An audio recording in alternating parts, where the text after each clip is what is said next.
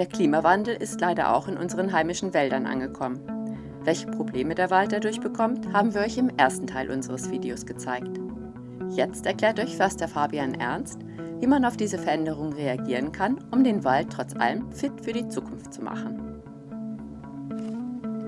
So, also du hast uns jetzt sehr klar gezeigt, dass der Klimawandel wirklich auch bei uns hier direkt vor der Haustür angekommen ist. Jetzt ist natürlich die Frage, wie reagiert man darauf? Und ich glaube, man sieht es hier, wir stehen hier mitten in einer Gegenreaktion oder sieht so ein bisschen aus wie ein Kindergarten, Baumkindergarten. So könnte man das auch nennen, ja. Also mhm. wir versuchen halt gerade in Waldbeständen, also in Wäldern, wo eh schon sehr wahrscheinlich anfällig sind für Klimawandelschäden oder mhm. Trockenschäden auch, schon früh Verjüngung. Das heißt, junge Bäumchen, die von Natur aus wachsen, unten drunter zu haben. Das heißt, wenn der alte Bestand, also die alten Bäume vielleicht doch irgendwann sterben sollte, mhm. dann haben wir schon die neuen quasi in den Startlöchern und wir, unser neuer Wald ist eigentlich direkt bereit, um direkt wieder zu wachsen.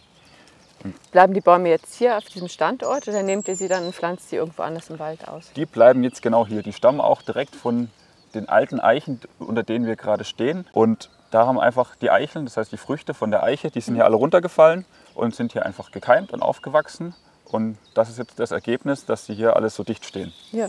Wie alt sind die? Fünf, sechs Jahre könnten die schon haben. Das wachsen die auch relativ langsam. Bäume wachsen langsam, wenn sie mhm das Wichtigste ist vor allem gerade in jungen Jahren bei der Eiche, dass sie Licht hat.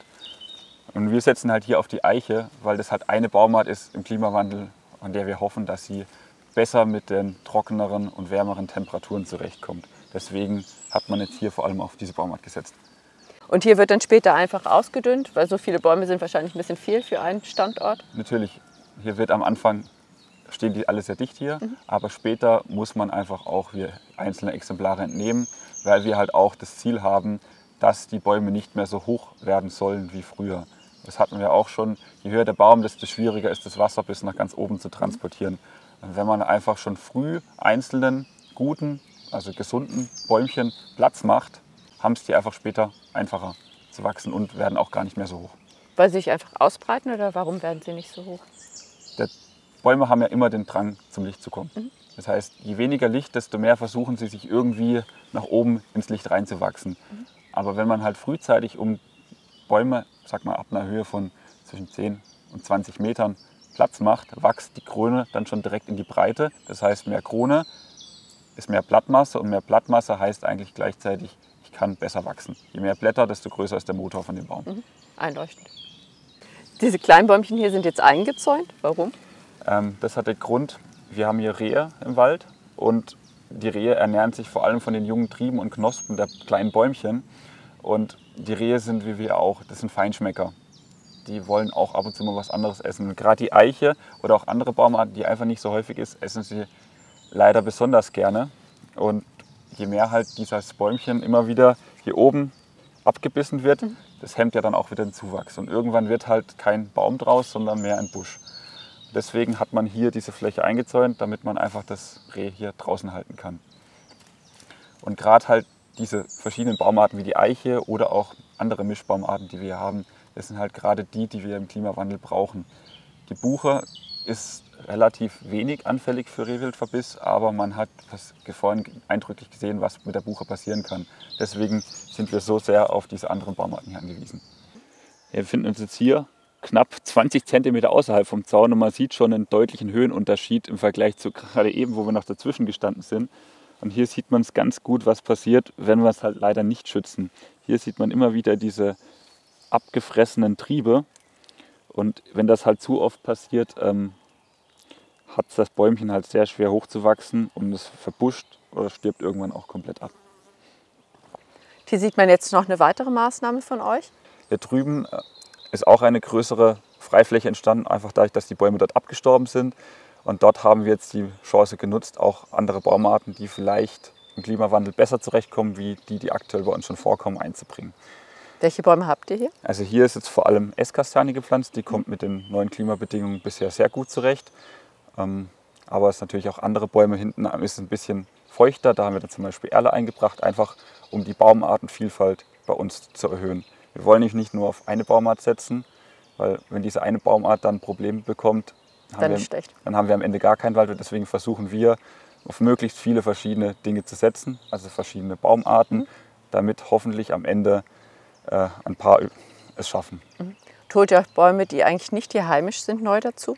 Ja, natürlich. Wir haben Prognosen, wie unser Klima sich in Zukunft hier verändern wird. Mhm. Also wir entwickeln uns Richtung submediterranes Klima hier in Süddeutschland und wir versuchen auch gerade aus solchen Regionen schon Baumarten einzubringen. Das wäre zum Beispiel Südfrankreich, die Italien. Flaum, die Pflaumeiche wäre da so ein typischer Vertreter. Mhm. Allerdings haben wir da bisher recht wenig Erfahrung, deswegen wird es bisher nur versuchsweise gemacht. Also das ist jetzt noch nicht, dass diese Baumarten flächig überall gepflanzt werden. Das sind wir gerade am Ausprobieren. Also muss man wirklich testen, kann man nicht sagen, das ist jetzt die Lösung, das machen wir. Nee, also bevor wir solche Baumarten flächig einbringen, werden Versuche gemacht und guckt, wie sich die Baumart einfach erstmal bei uns verträgt, ob sie mit den Standorten zurechtkommt, aber auch wie sie in unserem Ökosystem zurechtkommt, dass da vielleicht wir keine invasiven Arten bei uns einbringen, die dann vielleicht andere Arten verdrängen. Wir sind jetzt ein bisschen querfeldein, wirklich mitten im Wald reingelaufen. Hier ist richtig schön urig.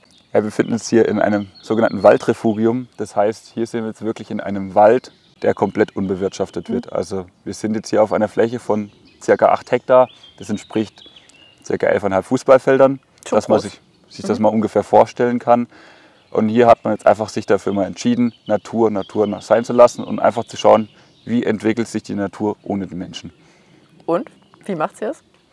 Ja, man muss dazu sagen, das ist jetzt noch nicht hier so lange ein Waldrefugium. Man hat hier auch früher bewirtschaftet, mhm. aber man sieht schon deutlich, es sind sehr, sehr viele Naturstrukturen, also naturschutzfachliche Strukturen da, wie zum Beispiel Spechtlöcher, die wir vorhin gesehen haben, verschiedene Kronabbrüche, wo dann wieder Pilze oder Insekten ihr sich einnisten können. Einfach für die Natur ein sehr, sehr wertvoller Lebensraum. Ich habe jetzt hier ganz viele Nummern auf den Bäumen gesehen. Was bedeuten die? Ja, man hat sich hier einfach vorab die Mühe gemacht, mal sämtliche Bäume zu suchen, die auch gewisse Habitatstrukturen haben. Das heißt, irgendeinen Lebensraum für verschiedene Tiere und Pflanzen bieten. Mhm.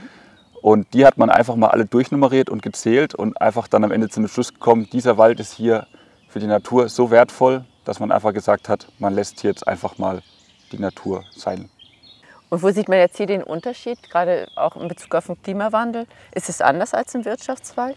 Man mhm. sieht hier genau die gleichen Trockenschäden im Wald, wie wir auch vorhin schon auch angeguckt haben. Also hier tut der Klimawandel auch sein Übriges. Und kommen ja auch von alleine wieder Bäume hoch? Natürlich. Aber hier dauert alles etwas länger. Wenn wir im Wirtschaftswald sind, können wir dann natürlich etwas mehr nachsteuern, wie zum Beispiel durch Pflanzen oder halt äh, durch Eingriffe, dass halt einfach mehr Licht auf den Boden kommt, dass halt die Waldverjüngung von alleine hochkommt. Aber hier ist es einfach alles etwas langsamer. Gut, da oben kann ich dir auch noch mal was zeigen. Sollen wir mal ein bisschen genauer hingehen? Darf nicht hin, oder?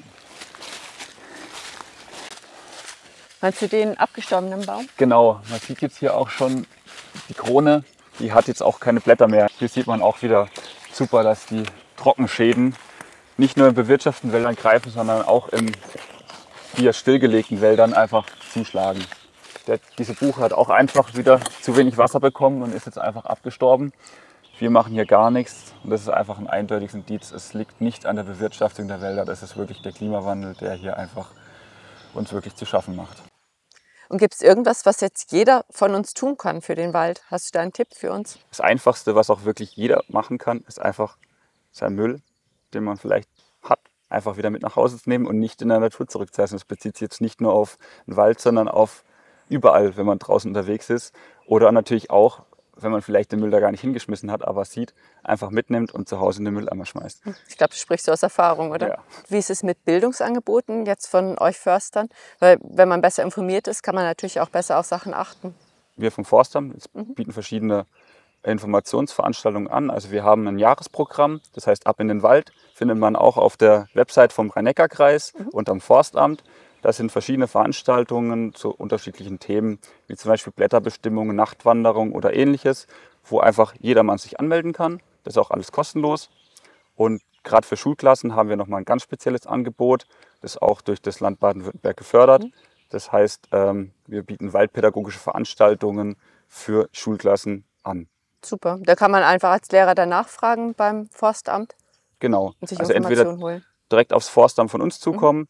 Oder es gibt auch die Waldbox-Webseite. Da hat man eine Übersicht über die ganzen Programme und Themen, die wir so anbieten, sei es Tiere, Klima oder auch der Boden. Mhm. Und äh, da kann man einfach sich mal informieren. Und da ist dann auch ein Anfragetool, wo man seine äh, Postleitzahl eingibt, wo man dann direkt auch zum richtigen Ansprechpartner geleitet wird. Auf jeden Fall eine super spannende Sache. Ja, Fabian, dann vielen Dank, dass du uns hier rumgeführt hast und so viel gezeigt hast. Sehr gerne. Ja, es war sehr spannend, zum Teil auch ein bisschen erschütternd zu sehen, wie der Klimawandel wirklich schon direkt hier bei uns angekommen ist. Aber ich glaube, wir werden jetzt, also ich auf jeden Fall und ihr sicherlich auch, einfach mit anderen Augen durch den Wald laufen, ganz viel wahrnehmen können. Ja, unser Wald wird sich in Zukunft einfach verändern durch die Änderung des Klimas. Das werden wir nicht aufhalten können. Wir müssen uns jetzt einfach daran gewöhnen, dass unser Wald einfach vielleicht in Zukunft etwas anders aussieht. Wahrscheinlich lichter wie jetzt, aber das gehört dazu. Aber der Wald wird weiterhin bei uns noch vor Ort sein.